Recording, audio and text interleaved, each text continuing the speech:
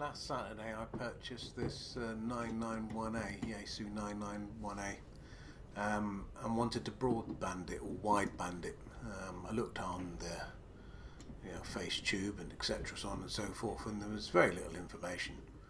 Um, so I thought it might be worthwhile actually making uh, a video uh, for you guys or for anyone that wants to uh, broadband their 991A.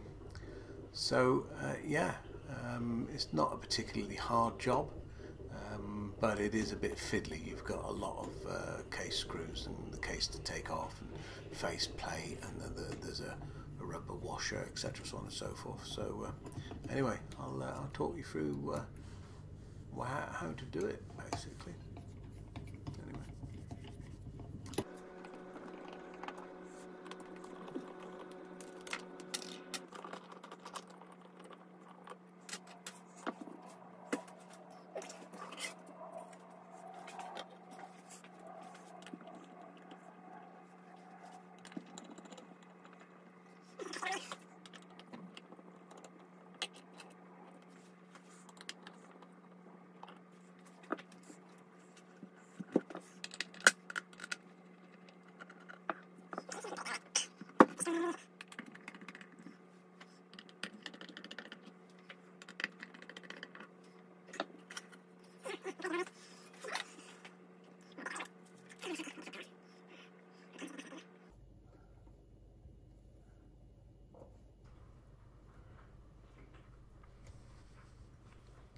You got to be careful here. There's a couple of um, um, plastic uh, leaves that you lift up, and uh, they're not uh, they're not screwed down or anything, but uh, I can see them easily broken.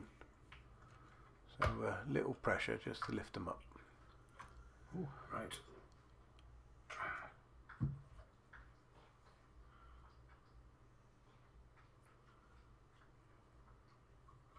There's also a couple of um, Velcro um, fasteners that hold the power cables in, um, and the the, uh, the ribbon cables also tend to be a little bit fiddly. So uh, try not to uh, twist or break those as well.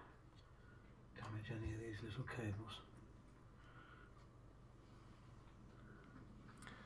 Now behind the face plate there's actually another metal plate that has six screws and the, the earth or um, ground for the face panel is connected to the top Okay. left hand uh, screw that needs to be undone. Um, and that will give you a bit of freedom to move the face plate out of the way. Um, so you can turn the uh, the uh, the 991 on its side. So that way you can get to the rest of the uh, the screws on the face plate Got to remove the uh, the rubber gasket first, and uh, again, be careful when you do this because it can pull and break the ribbon cable, or even take it out of the socket on the front. So uh, just a little bit of care needed. Be on its side.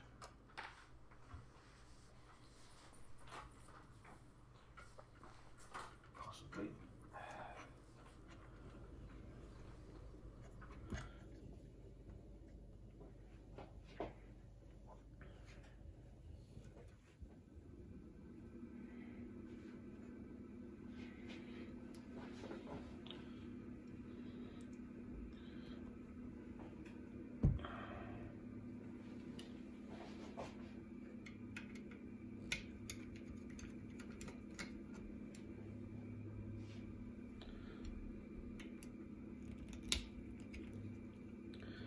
It might be better off if I put it on its side actually. Not quite sure which side. Um, yeah, let's put it so it's um, on this side because it's more likely to be quite very round for all of this junk.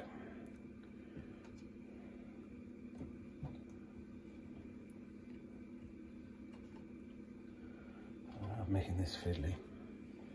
Not difficult, just fiddly.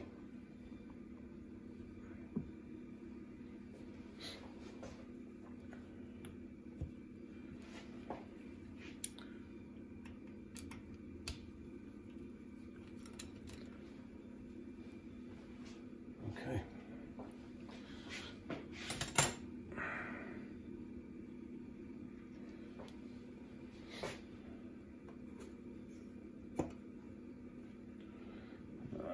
There's the beast.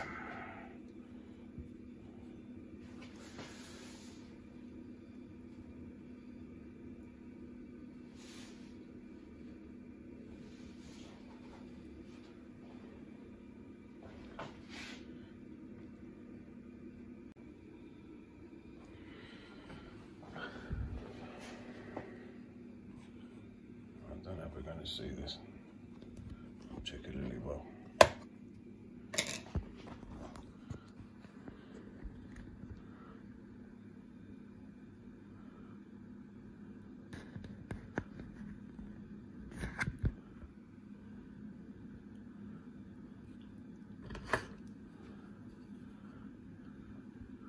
So the one I need to short is that pair there.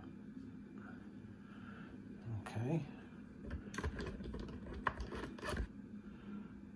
So, no, it's not a particularly good angle. We'll see if we can do it.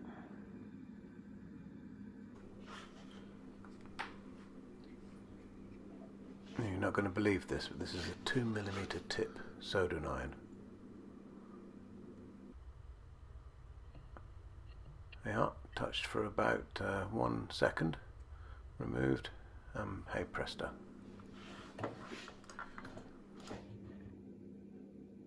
Doesn't have to be pretty, just have to work. A reassemble time, oh yeah.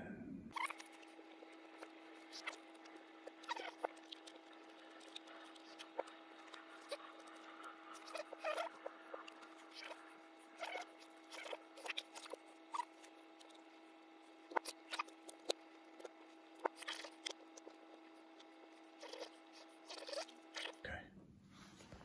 Let's just test. So.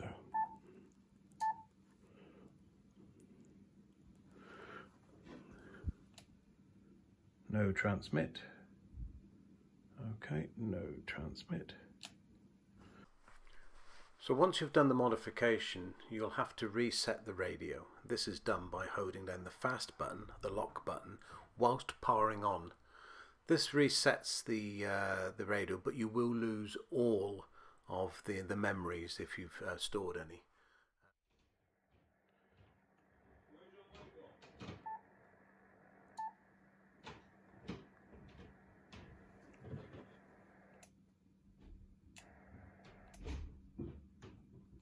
Excellent. It be done. I was also incredibly impressed with the uh, the radio sound processing. The the DNR or digital noise reduction on this is outstanding. Really, it is. No, negative. Papa Echo to Golf Hotel. Is that you, Garrett?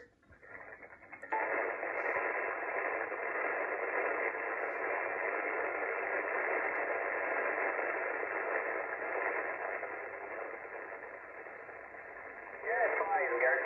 This, uh, the signal so strong at the moment, and uh, I think that the propagation a little bit uh, uh, worse as was before yesterday. Well, but anyway. Thanks for watching. Um, that's how you uh, wideband a Yaesu 991A, and uh, I hope that's uh, been educational and you found it uh, of use. Cheers for now. Thanks very much.